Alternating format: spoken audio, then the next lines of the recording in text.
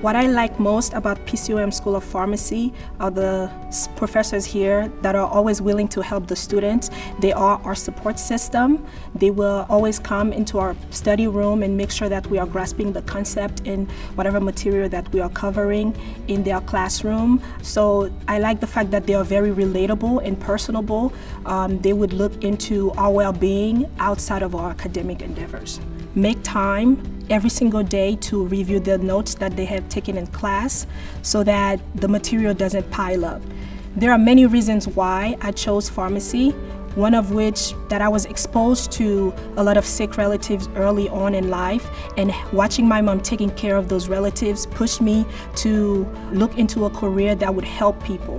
What I like most about PCOM School of Pharmacy is faculty wanting to help the students as much as possible. I feel like every time I have a question, all the faculty are eager to help me in any way they can, whether it's review sessions or me just coming to their class and them sitting down with me to understand a concept that I might not have got in class. They are always eager to help and their doors are always open.